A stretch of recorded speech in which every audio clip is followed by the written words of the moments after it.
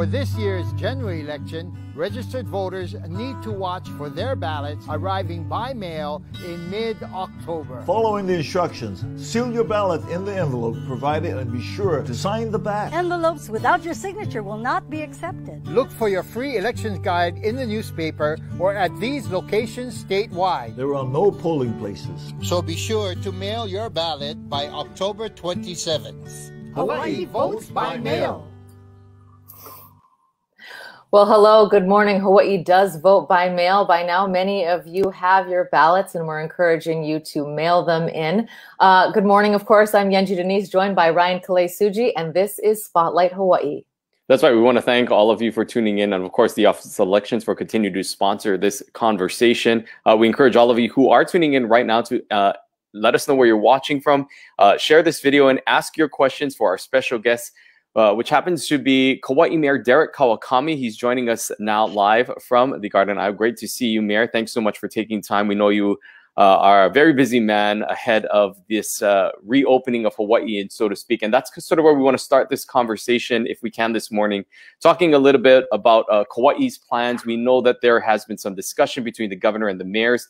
Uh, can you give us an update at this point in time of uh, where Kauai is at in terms of this reopening plan that's happening on November 15th? Sure. Well, good morning, everybody. Um, thank you for joining us today.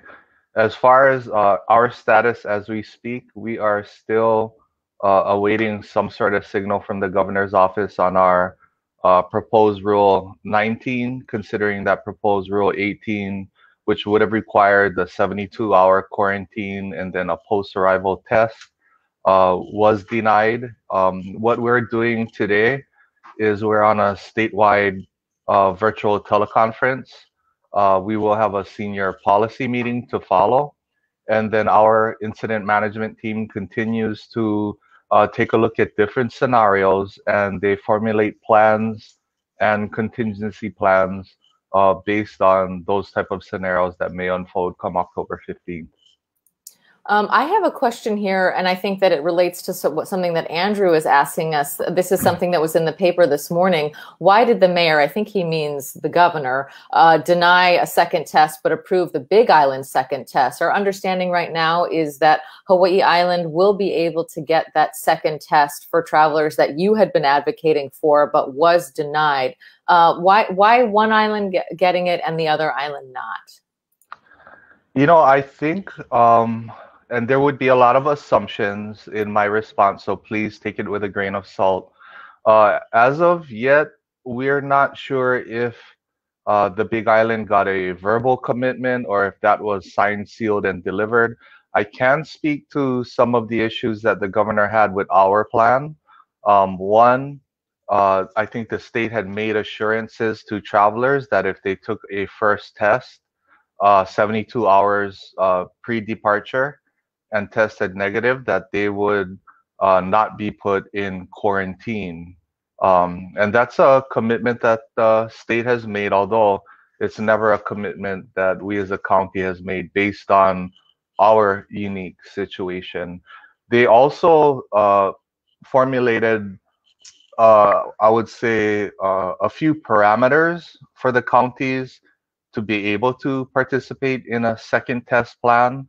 Um, one of them was that it would have to be all purchased by the counties, that we would not be able to pass that cost on to uh, arrivals, whether you're local or visitor. We do believe, uh, and our position is that these travelers should bear the cost of this second test. It should not be on the back or shoulders of our taxpayers. Um, three, it had to be administered by the county. We don't have a Department of Health. Um, that is not the way that we operate. We uh, work collaboratively. We have a police force.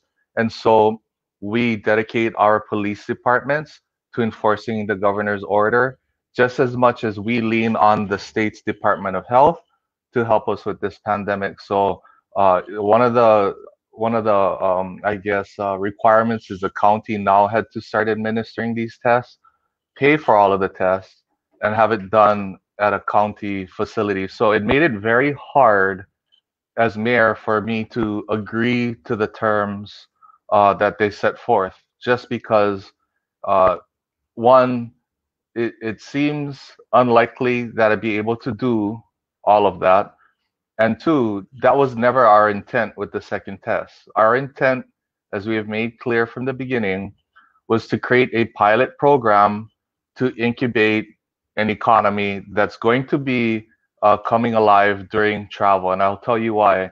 Um, I'm pretty sure that some of the visitor industry workers are going to want to know whether these guests that are on property are negative or positive. And so there is uh, economic supply and demand that we believe is going to come to fruition.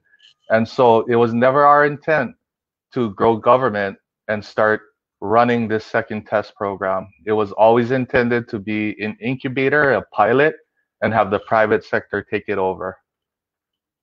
In your proposal right now that's in front of the governor, we know that you sort of adopted a, a tier system. If you can sort of explain uh, this latest go around and, and what's currently before the governor in this latest recommendation of how you see the county of Kauai opening up. Sure. It's a tiered system that serves multiple purposes. One, it gives our public, our team, and the visitor industry and all of the economic sectors that make up Kauai a tangible look as to how some of the decisions that we make are being made. And so it gives hard targets that does have some degree of flexibility built in for us to be able to respond appropriately. But it gives the public and uh, uh, and our audience at large the ability to see uh, what consequences come with certain actions or results of those actions. So right now, Kauai is in tier four, which is the least restrictive. Um, there are still restrictions, but under this pandemic, tier four is the least restrictive. If we see a weekly average go up to a certain number, we would scale to tier three, which really affects the gathering sizes. Now, if you get to tier two, this is where our proposal gets much more restrictive. That would, uh, in turn, uh, ask the governor to go back into a 14 day mandatory quarantine. By this point, if we hit tier two, we have a very, very severe concern that the number of cases could lead to community spread if it hasn't already and could potentially overrun our healthcare system on Kauai. And of course, we don't want to scale back to any of the tiers, but tier one would look very much like our original stay home order, which would be um, the most restrictive. And I have to say, that is the last thing that any of us want to ever do. Um, there's a question today about inter-island travel, especially for Hawaii residents. You know, one of the things that they've been trying to do is stand up the Kama'aina economy, and I know there are a lot of people who would love to come to Kauai. So Aaron wants to know why can't inter-island testing happen? Are people able to travel inter-island without quarantine? Let's talk. I, I know it's hard once people get here to sort of figure out, you know, once Thursday happens to figure out who's a resident and who is uh, who, who's not, who's who's one of these trans-Pacific travelers. But do you anticipate residents being able to bypass the 14-day quarantine as you have it outlined right now? Well, you know, our Rule 18 addressed uh, inter-island travel. Of course, um, from an equity standpoint, we said that it makes the most sense because we're treating all arrivals the same, right? This virus doesn't discriminate. Um, this original first phase of reopening the visitor industry addresses the continental travelers coming from the other states, but it still does not address our own local people that are traveling from island to island to visit family or for recreation. And so we said, you know, it's best to keep things simple and treat everybody the same. So everybody that lands on Kauai will quarantine for 72 hours and receive a test. And based on those results, would be able to get them out of quarantine sooner rather than later. I'm assuming that the reason why inter-island testing has not yet become available for Hawaii residents under the Lieutenant Governor's travel plan and the state's travel plan is because they've always talked about limited capacity of inventory for these tests. So right now, the state of Hawaii is trying to make sure that there's an inventory of tests available if we start to see large outbreaks. So these tests are being saved for people that become sick uh, as a top priority. And because there's uh, no surplus that I know of, um, they are reserving those tests for that purpose. I do um, and have heard conversations that the state is trying to figure out inter-island travel as we speak, and there may be tests or different type of tests uh, that may become available, but we have not heard of uh, any plan as of this point in time. And so, just to clarify again, uh, there is a conversation, and, and maybe for those that are just tuning in, uh, you folks will be again meeting uh, with the mayors and with the governors uh, later today to sort of discuss some of these things and to get clarity on this tiered system that you are now proposing, as well as to sort of discuss some of this. So, there is likely to be some sort of decision made uh, before, obviously, November 15th. Is that correct? Or October 15th? Hopefully October, before, October 15th, hopefully a lot, yeah, earlier than November 15th. No, I, Right, I, I, I totally understand. Oh, you know, like anything else, um, there's so many different moving pieces that I think the state is dealing with that, um, you know, we can only control what we can control. So what we're focused on on our end is making sure that uh, everything that's within our wheelhouse is AJ squared away and um, and uh, we will wait and see whether or not they'll have a program or a system and process ready for inter-island travel by the 15th um, is not uh, something uh, for me to be able to commit to or say, but I can assure you that Kauai is doing uh, whatever we can to make sure that people are safe. That is our top priority. Let's talk a little bit about the safety protocols that are in place for Kauai. I know that because you have such low viral levels, um, you know, unlike on Oahu, there's a lot there's a lot more movement and people are allowed to move more freely. A lot more businesses are open and and have more capacity than what we have right now.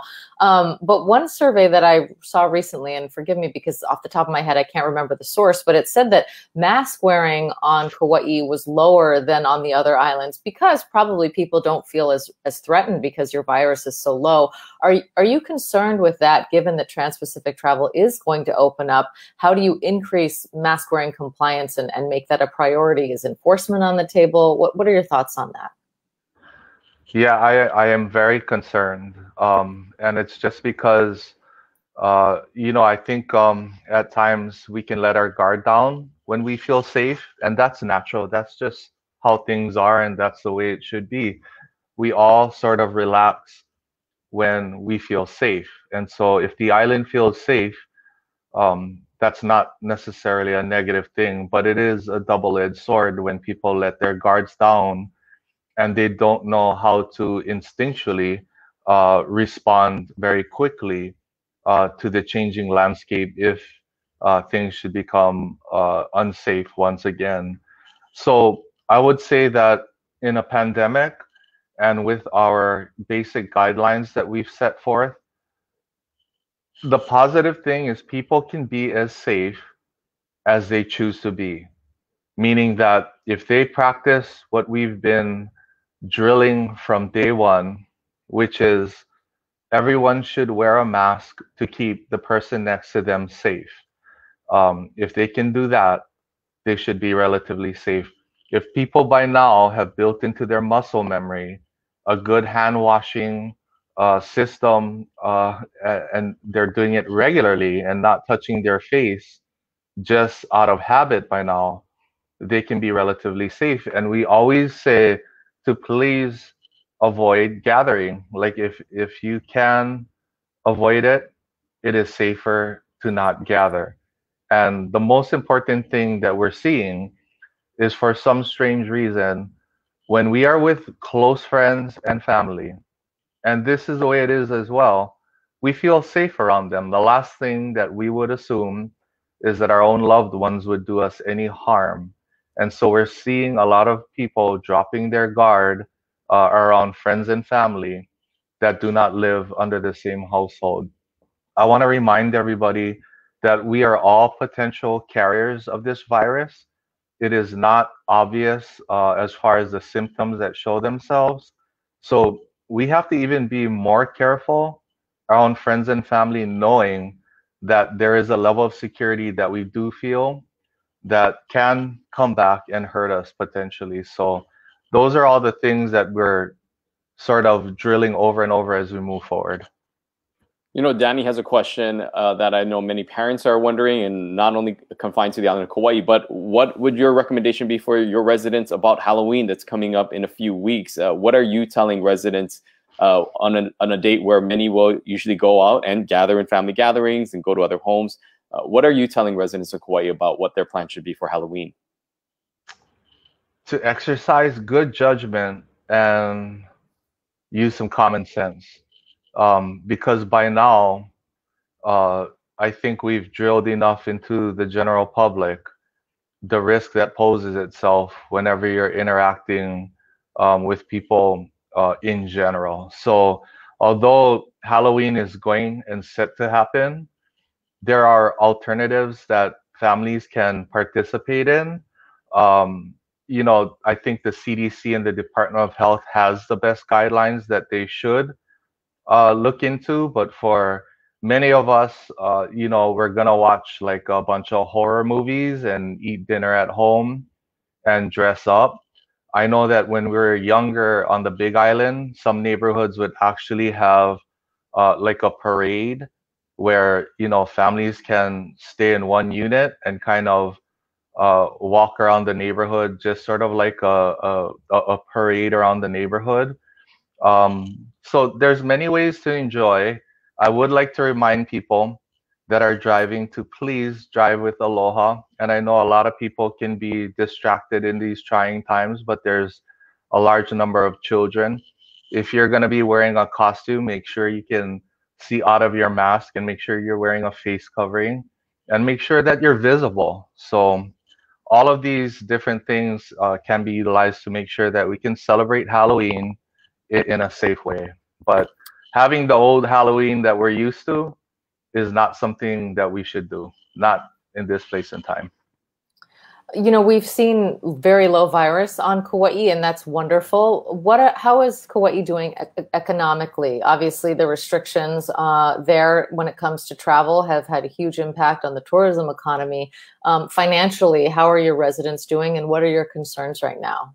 All businesses are hurting. I mean, you know, when we were in the grocery business, uh, the visitor industry is, was critical to our customer count, and we base our operations and budgets on those additional 30,000 people that are on Kauai at any given point in time. And so when you see that disappear, it, it hurts. And there's many restaurants.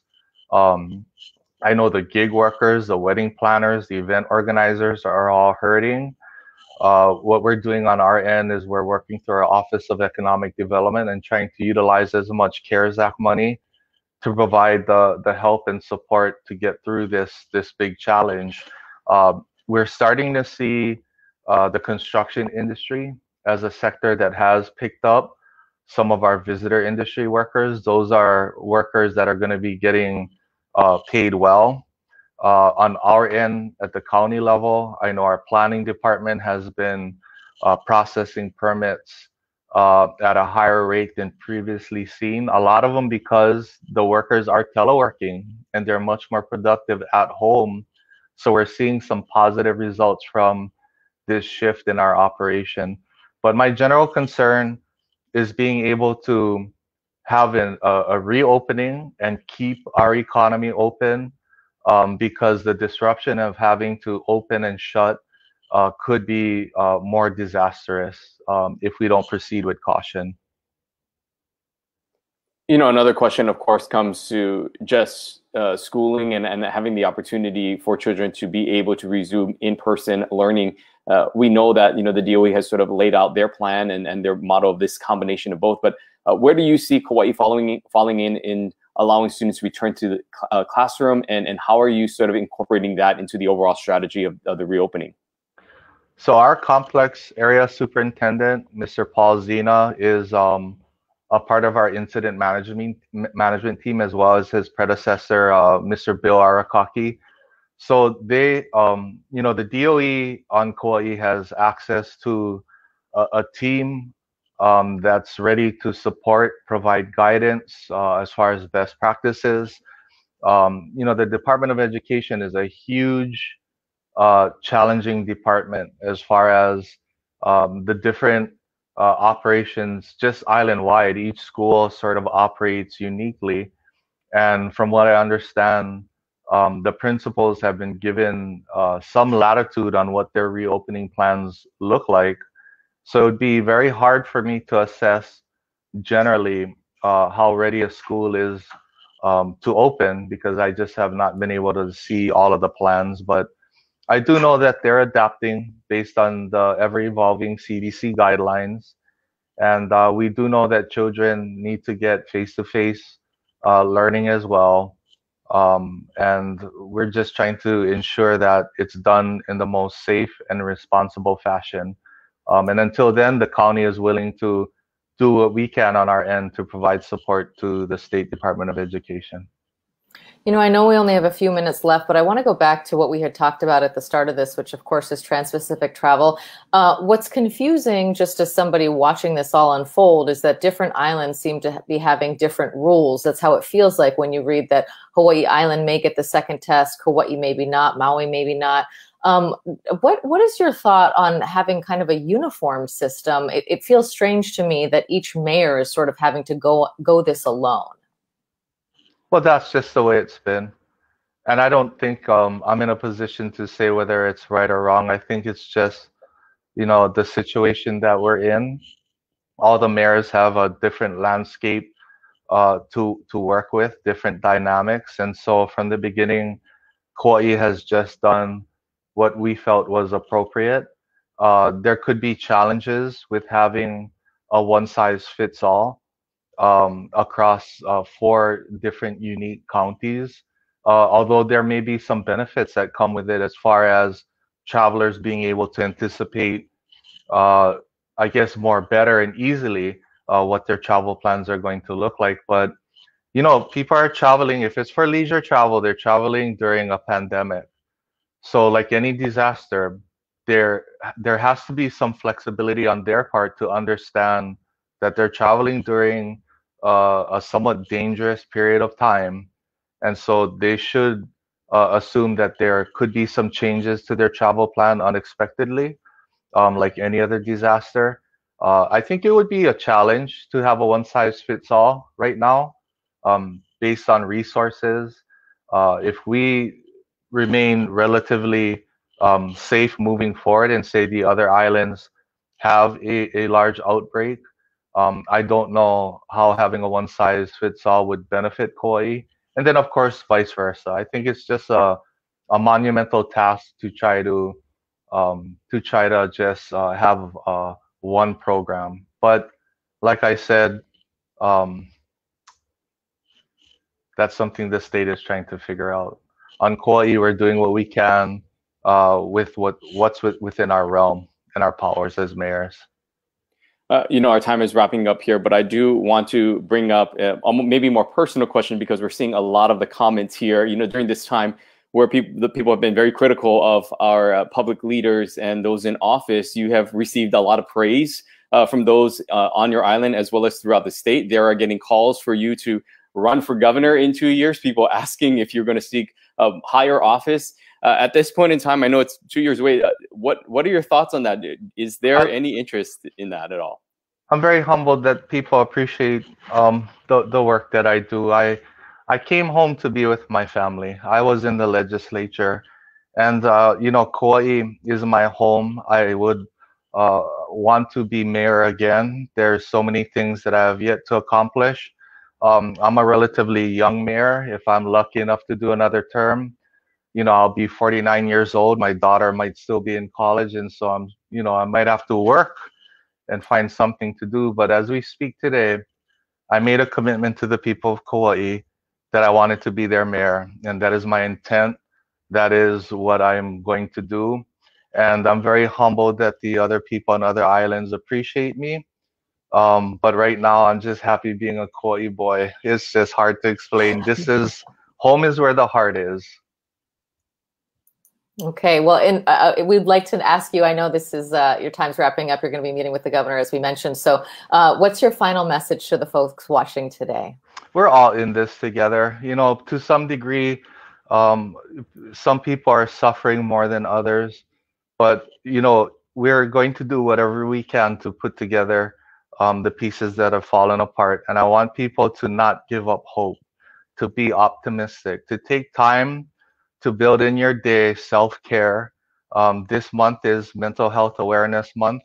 I want people to schedule in things where they can just love themselves and take a deep breath and understand that this is not the worst, that, you know, we have a lot to be thankful for and to put their mind in a peaceful place because I think there is, uh, all of us are dealing with stress to some level and it requires uh, certain techniques to be able to get yourself into a good mental frame of mind. There's resources out there. I want you to take some time to take a look into those resources. But we're here for you folks. We care about you folks, and we want everybody to be safe. All right, Kauai Mayor Derek Kawakami, thank you so much for taking time Thank and you. providing an update uh, about your island. Aloha. Aloha. Well, Ryan, great to hear from him today. And interesting that we're just a few days out from the reopening of Trans Pacific travel. And it seems like there's still a lot of unanswered questions when it comes to neighbor island travel. Yeah, and hopefully those answers, uh, those questions will be answered through this conversation that the mayors and the governor will be having. Uh, again, him saying that he doesn't think that maybe a one size fits all program would be, you know, appropriate because each county has so many different needs, and we're seeing that firsthand. Of course, uh, you know, with the influx of cases that are happening on Hawaii Island compared to the low cases uh, that are happening on Maui and on Kauai, and so each are sort of adapting in their own ways. And so both uh, or all the mayors are sort of looking for ways to find what is best for them. Of course, we know that Kauai has this sort of new tiered system that they've sort of outlined and they have presented to the governor and waiting for him to sort of give his response. And so we'll see what happens after they have this opportunity to have this conversation today. I know a lot of people will be looking forward to hear what comes from that meeting. Yeah, and I expect that that decision will come pretty quickly because, as we said, uh, we're looking down the barrel of October 15th. That is this week. And, you know, people, hotels and, and travelers themselves and residents really need to prepare for what this influx of people is going to look like. Of course, we did talk to John DeFries, who's the head of HTA last week, and he said he expects about 5,000 when things sort of level off. 5,000 daily arrivals, which is just, you know, less than 20% of what we've seen in the past. But that still is a good number of people that we haven't had uh, in the islands. And so that'll be big changes for everyone on every island.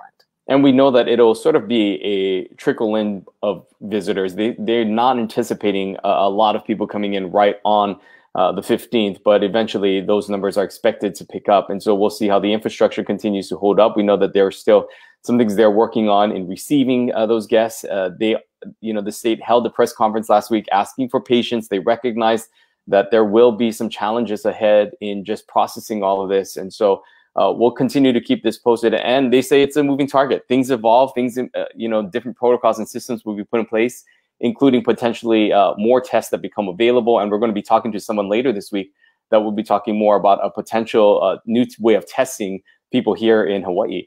Yeah, that's right. On Friday, we have the CEO and president of Oceanit. That is, of course, a local company here in the islands that is working on a saliva test, rapid test. We're told that it is relatively inexpensive, around $20. It can give you a result uh, in just about 20 minutes. You just spit on, uh, you know, a test strip and, and you get the result. Uh, we're going to talk to him about, you know, how it fit, how uh, safe and effective that is, and when we could see something like that come to market. What's interesting is that they're trying to get that manufactured here in Hawaii, so that could also be a huge sector of our economy if that does come through, because something like that to be widely available could be a game changer. And then on Wednesday, Ryan, we're going to be talking to the head of an industry that has been gravely affected by the pandemic. That's right. Of course, the restaurant industry uh, continues to sort of struggle through this with the restrictions of uh, the orders that, of course, are placed on the island of Oahu, with uh, only those of the same household being able to eat at a restaurant. How are these businesses able to survive? Uh, and so we're going to be talking more about the restaurant industry on Wednesday. And so looking forward to continuing on these conversations. A lot of comments here, and again, a lot of praise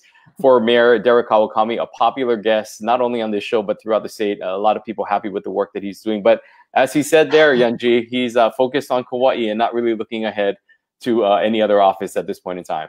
Yeah, that was a great question, Ryan. And I think that, you know, you saw a lot of people saying, we want him as our governor, and a lot of other people on Kauai saying, no, we want to keep Don't him. take him. yeah, because they're very happy with, uh, you know, and it's hard to argue with the results there. Of course, the economy there is suffering uh, gravely, but when you look at their viral count, the fact that they are at tier four uh, compared to the I- other islands, of course, they do have a, a lot smaller population, but it has been uh, refreshing to see, you know, just how well that they have been doing. That's right. And so we look forward to keeping an update on him as well as, uh, again, the conversation that's happening between the mayors and all the other governors. We encourage you to stay connected uh, to the platforms of the Honolulu Star Advertiser for updates uh, as we near this 15th and the reopening and the, uh, of course, announcements that will be coming about that. Again, we want to thank our sponsors, the Office of Elections, for allowing us to have this conversation. And again, you can get more uh, information on their website on ways uh, that you can vote if you haven't already received your ballot in the mail. There's still opportunities to vote in person. Uh, we'll have more information that in, in, the coming weeks, but thank you to the Office of Election for allowing us to bring you this content. Uh, until Wednesday, we wish you all a safe week, and we'll see you right back here at 1030 then. Aloha. Aloha. For this year's general election, registered voters need to watch for their ballots arriving by mail in mid-October. Following the instructions, seal your ballot in the envelope provided and be sure to sign the back. Envelopes without your signature will not be accepted. Look for your free elections guide in the newspaper or at these locations statewide. There are no polling places. So be sure to mail your ballot by October 27th. Hawaii votes by mail.